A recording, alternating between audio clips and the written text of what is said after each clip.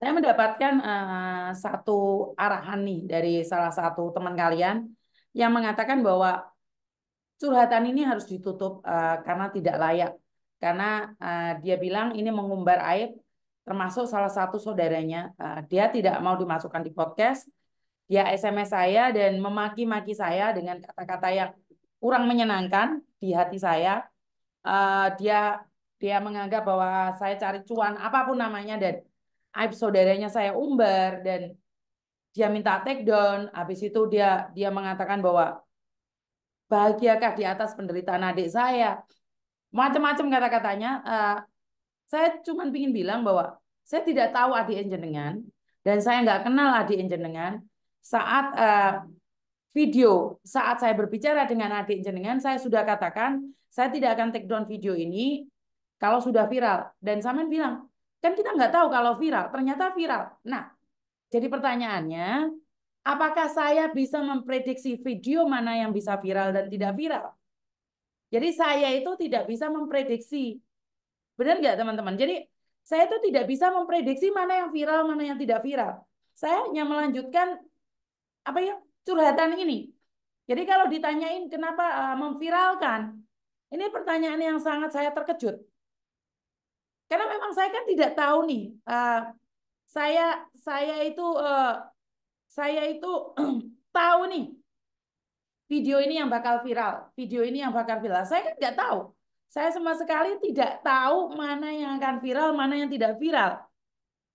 Jadi gini loh, telepon saya itu saya nggak tahu. Malah kalau kalian tahu, video saya itu lebih viral di TikTok daripada daripada YouTube saya video saya itu lebih viral di Facebook Facebook orang lain. Di tempat saya itu malah nggak viral. Jadi buat Mbak E yang yang katanya adiknya ada di Taiwan, mengatakan bahwa uh, uh, hanya mengumbar adiknya saja. Saya juga nggak tahu yang mana satu adiknya yang dari Taiwan katanya adiknya tertipu bukannya ngasih solusi malah diviralkan memperlihatkan kebodohan uh, orang Indonesia. Nah, saya curiga ini. Jangan-jangan keluarganya adalah satu sindikat itu. Kenapa? Karena kita nggak bisa tahu mana yang sindikat, mana yang bukan. Saat ini kita itu tidak bisa membedakan yang mana sindikat dan yang mana bukan. Saya nggak tahu yang mana satu sindikat atau bukan. Wong yang telepon saya gembongnya sindikat juga ada kok. Gembongnya sindikat juga ada kok. Sama polisi dicariin dia sekarang bersembunyi. Setelah dia berteriak-teriak dia mengatakan bahwa tidak takut ditangkap polisi ataupun tidak takut dengan ini dengan itu. Pada kenyataannya enggak kok. Saat polisi mencarinya dia enggak berani kok muncul. Jadi eh, sekali lagi eh, buat teman-teman yang ada di luar sana, saya itu secara secara pribadi mengatakan bahwa nggak tahu yang mana videonya yang bakalan viral sama enggak.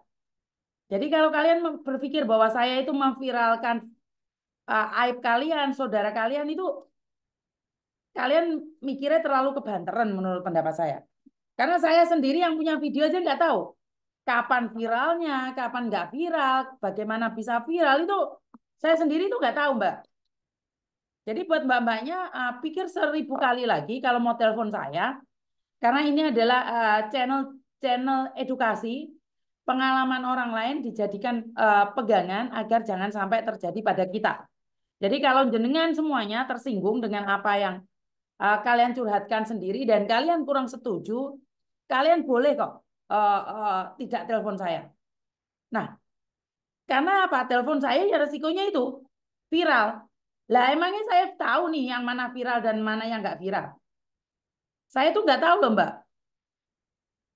Saya itu benar-benar tidak tahu yang mana viral dan yang mana tidak viral. Jadi saya itu tidak bisa menjanjikan, wah videomu videomu tak viral nih yo, enggak. Enggak kayak gitu konteksnya kita itu enggak enggak enggak memviralkan. Karena kita enggak tahu yang mana viral dan mana yang enggak viral. Bisa dipahami ya nyampe di sini ya buat teman-teman ya. Jadi buat teman-teman uh, uh, jangan salah sangka bahwa saya itu ingin memviralkan saudara kalian agar terkenal atau seperti apa enggak ya jauh dari kata itu ya.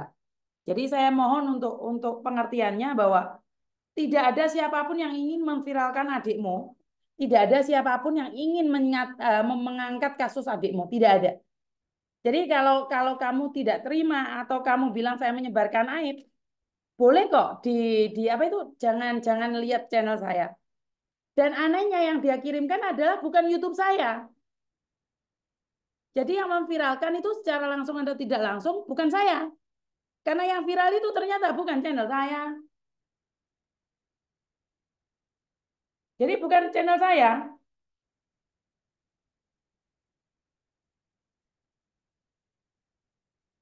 Jadi yang viral itu bukan channel saya, yang dikirimkan ke saya itu bukan channel saya.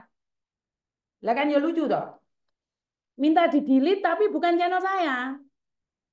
Mijuni tolong di delete ini video adik saya. Lah ternyata bukan video saya. Bukan punya saya. Jadi itu channel itu bukan channel saya.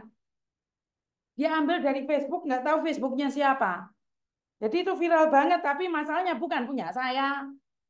Ya, jadi uh, buat teman-teman uh, sekali lagi, kalau kalian ingin telepon saya, pastikan kalian tahu aturan main kita. Jadi uh, kalian uh, merasa keberatan dengan keadaan boleh. Jadi memang channel saya ini tidak ada tujuan untuk menghujat siapa pun, tidak ada tujuan untuk menghina siapa pun. Kenapa saya bilang jangan pernah menyebut nama siapa pun, termasuk namamu sendiri, karena saya kalau sudah viral, saya nggak akan take down.